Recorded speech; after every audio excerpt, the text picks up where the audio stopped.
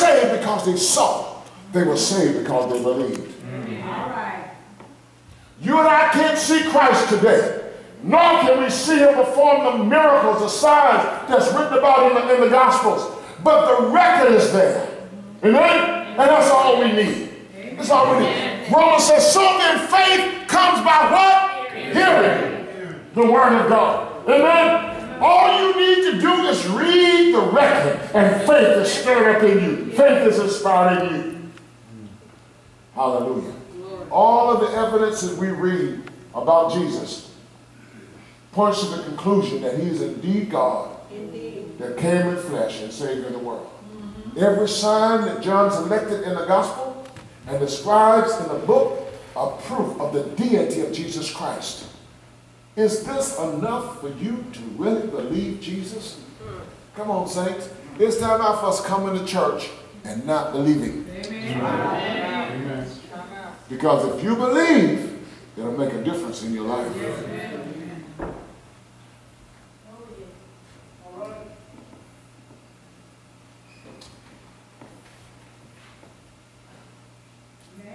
We need to believe. We need to believe. We need to believe. We need to believe. Everything Jesus did while he walked the face of the earth was important. But sinners were not even saved by believing in miracles. They can only be saved by believing in Jesus Christ. Do you believe? You want to see a sign? Sign ain't gonna make you believe in Jesus, not to salvation. Let me tell you what I've experienced with people. Folk can be laying up in the hospital just about on that deathbed. Lord, if you give me another chance. When I get out of this hospital, I'm going to live for you. And they get out of the hospital and they come to the church house two times. And that's the extent of their living for the Lord. Because once health is restored and they start feeling better, they go back to their old ways. It's not a sign that's going to cause you to have faith in the Lord Jesus Christ or be saved. It is your belief in the Lord Jesus Christ. It is your personal faith in his death, burial, and resurrection that will make all of the difference in the world in your life. When you come to that point, you'll live for him. You'll live for him. Live for him. Live for him.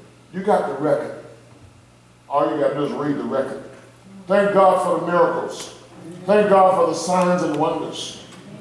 But it's your faith in the Lord Jesus Christ. It's your belief in the resurrected Lord. Do you have enough evidence to really believe in him?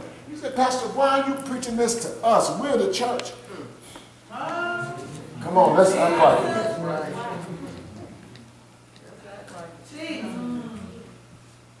If, if the Lord cared enough about us to prove himself, even though we don't have the first, we don't have, we're not eyewitnesses, but we have the account. Mm-hmm.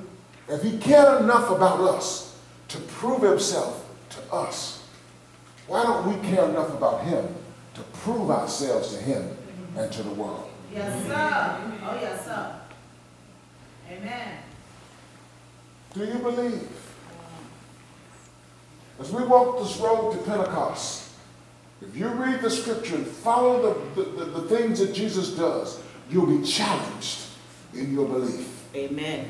You'll be challenged in your faith. That's right. The only thing the Lord is saying to us today is we need to be challenged in our faith. Do we really believe? Oh yes, there are many who really believe. There are many others. Kind of like, you know, on the fence. But you can't be straddling the fence when it comes to faith in the Lord Jesus Christ. There's no in-between ground when it comes to the Lord Jesus Christ. There's no in-between ground. I usually hear old people say you can't straddle the fence. I used to think about straddling the fence, and I think about barbed wire. You straddle the fence and slip. You get a bob in the.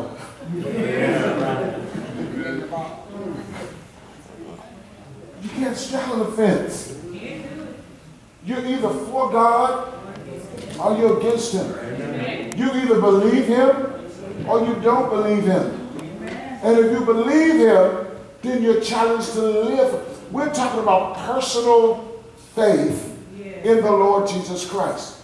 We're not talking about standing back and looking and saying, well, this person is not doing this, and that person is not doing that, so why are you challenging me? We're talking about everybody personally exercising faith in the Lord Jesus Christ. Remember, as Jesus is talking to Peter and challenging Peter, and he's walking with Peter, and Peter looks back and sees John following him. He said, What about him? Mm. Jesus says, That's none of your business. Mm. If I desire that he stay until I come again, what that got to do with you? You follow me. So we're talking about personal faith. The Lord is challenging us that if we have personal faith in him, then rise to the occasion of our faith. Yes, sir. Oh, yes, sir. Rise. Amen. Amen. Live that life that will glorify him. Yes, yes. Do those things that will glorify him. Amen. Treat people in a way that will glorify him. Amen. Thank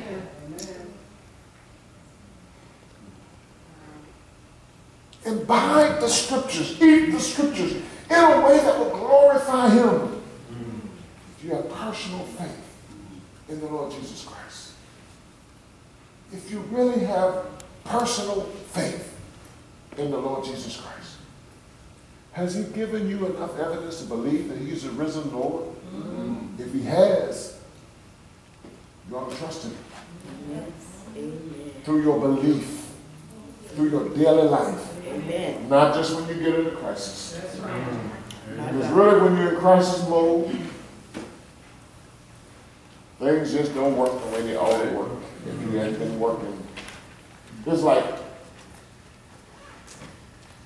something breaks down and you haven't been taking care of it, and then you need it all of a sudden and you're, you're rushed and you're nervous and you're trying to fix it. And then you're just all fumbling with your fingers and you can't get it right. You gotta walk with the Lord daily. You can't wait till you get in crisis mode and get, oh Lord, I need you. Then you start thinking about all the sins you committed. And while you're in crisis mode, and the Lord forgive me for this and forgive me for that. The devil gonna bring all that up in your mind. Forgive me for this, forgive me for that, forgive me for the other thing. You're in crisis mode. You need the Lord. There's no time to be asking the Lord for forgiveness. Father, we thank you. I may not be making sense to y'all, but it's the truth. You making sense. Personal faith. This is not mama's faith, children. It's not daddy's faith. It's your faith in the Lord Jesus Christ. It's not husband's faith, wife. It's not wife's faith, husband. It is your personal faith in the Lord Jesus Christ. You can be friends with Joyce Meyer. You can be friends with T.D. Jakes. And any other famous preacher you know. But it's your personal faith in the Lord Jesus Christ. Lord, Father. Blessed is the one Yeah. who's not seen, yet he believes, or she believes. You can be counted in that number if you're not already counted in that number. Mm-hmm. You got to hear the fact that the Lord said, because you believed. Listen, somewhere along the way, you've questioned yourself about the resurrection of the Lord Jesus Christ. And somewhere along the way, if you're a firm believer, the Lord has given you reason beyond a shadow of a doubt, even if it's just taking you back to the scriptures mm. to confirm the fact that he is the risen Lord. You should exercise personal faith in him. If that has not happened in your life, then you need to be questioning whether your faith is real.